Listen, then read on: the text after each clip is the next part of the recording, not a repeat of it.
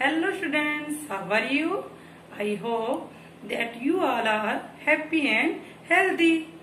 Today we will learn a poem.